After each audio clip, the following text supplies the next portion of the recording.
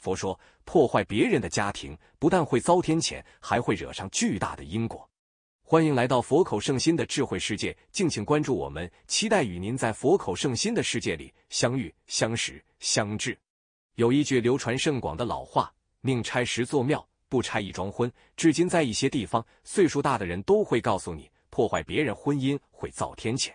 破坏别人婚姻，看似只是破坏了一段关系，或者可以打住为了爱情不惜代价的幌子，但从根本讲，破坏的是天地间最根本的法则。两个人能做夫妻，是在强大的姻缘羁绊之下的产物。可能为了一世夫妻，两个灵魂等待了几百年，所以破坏婚姻的行为会沾染上巨大的因果。一般认为，破坏别人婚姻可能会有几种常见的报应。破坏别人婚姻，有一天自己的婚姻也会被别人破坏，生出不太健康的孩子，自己孩子日后的婚姻会遭到别人破坏，影响父母的婚姻。在下一世轮回中遭到爱情方面巨大的折磨或者惩罚，万事万物皆是有因有缘而形成的，并不是无因无缘的。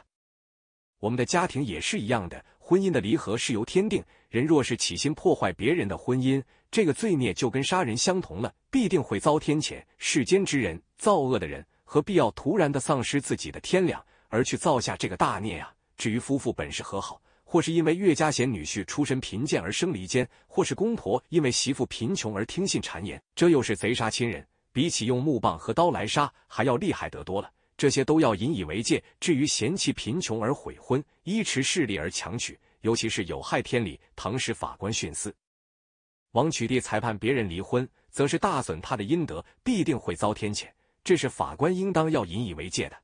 最容易犯的就是色欲，所以应当时刻警惕。如果遇到所谓婚外情姻缘的时候，只有制止才是真正彻底的了断，大家都好；否则破坏别人的感情和家，这个因果很严重。这种因果报应有四种：一种是现世报，一种是未来报，一种是家报，一种是子孙报。现世报，现在很多女人勾引别人有家庭的男人，然后跟他结婚，没有多久出现另外一个女人勾引自己的男人，夫妻俩不能够完聚。同样。男人勾引有家女人，破坏别人的家庭，一样有恶报。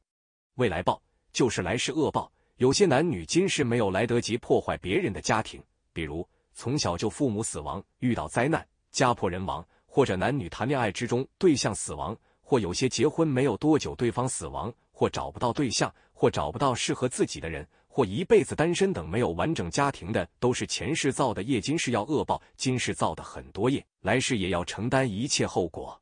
家共报，比如你勾引别人的女人，你破坏了别人的家庭，你自己的一生跟家人不能够完聚。为什么现在二婚、三婚、四婚，甚至还有六七婚的人？这就是破坏别人家庭的恶性循环。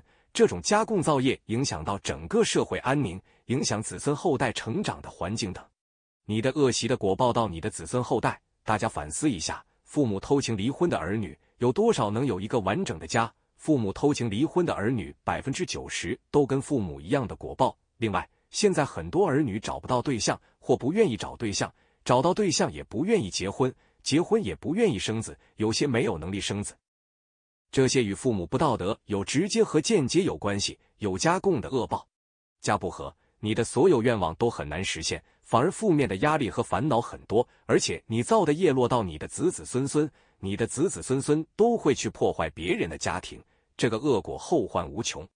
有人问我，为什么做一次的恶业后果那么严重呢？我回答的是：如果你做一次恶业没有去忏悔，你造的恶业每天都在增加。不管你是谁，破坏别人的家庭，恶报万倍；不管你是谁，调和别人的家庭，善报万倍。弘一法师曾说：“爱是慈悲。”什么是慈悲？慈悲不是一种高高在上的施舍，而是发自内心的一种没有任何原因、目的、限度的对一个人或者事情的关心、爱护、责任感。打着爱的旗号，其破坏别人婚姻，本身就是对爱这个世间最美好字眼的最大侮辱。真正爱一个人，应该更多为这个人考虑，而不是像征服者、杀戮者一样，为了得到不惜手段。佛学有一个非常伟大的观点。随喜，这是一个真正智慧的理念，更不要说为了金钱、权势、名望等目的去破坏或者利用别人的婚姻的行为了。这就已经超过了破坏婚姻的果报的范围了。这是一个躁动的时代，每个人有属于自己的哲学选择。其实，哲学与选择本身并无对错，也无高低之分。现在社会物欲横流，小三事件屡见不鲜。若单纯的以心理学角度来分析的话，恐怕难以使他们清醒。必须以冷水因果泼浇之，使其清醒，从而回头是岸，远离茫茫苦海。遇到很多第三者插足者来求助，看到他们痛苦的表情，我也很无奈。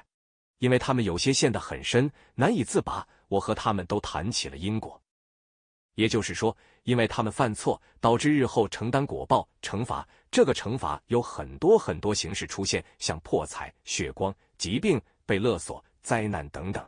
不但如此，他们还会被无休止的因果牵扯来生或者几世。有人不懂，难道今生犯错，来世也会受到惩罚吗？当然如此。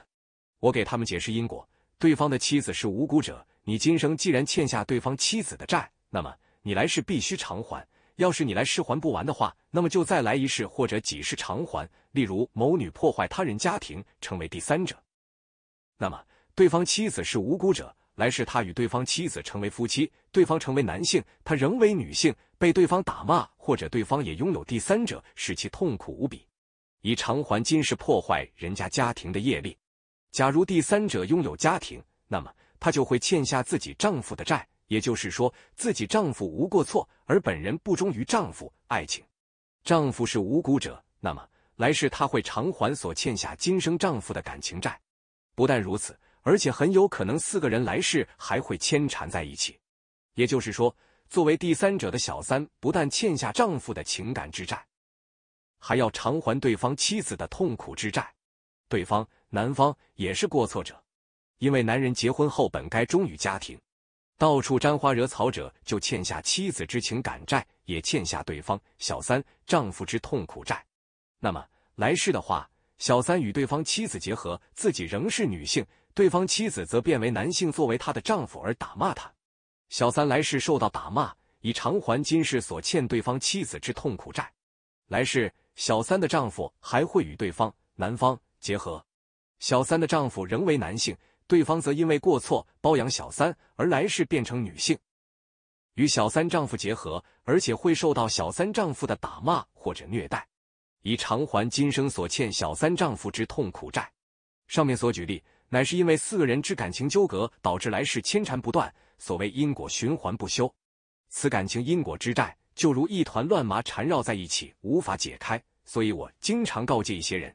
欠什么债都好还，就是别欠感情之债，因为感情债三世都难以偿还啊。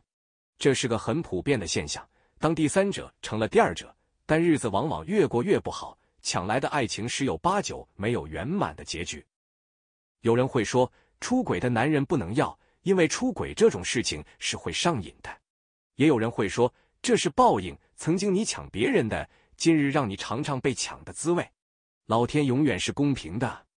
佛家是讲究因果报应的，那些曾经破坏了别人家庭的人，到最后也是会自己承受业障。很多年轻人不懂事，凭着自己的皮囊去勾引别人，然后介入他人的家庭，觉得自己是对方的真爱，造成了对方妻离子散，然后自己还洋洋得意，觉得自己魅力大，后面才知道因果报应。佛法教育我们了，要广结善缘，利益一切人天大众，自然自身就能获得利益，不会让自身受到影响了。我们就能获得幸福了。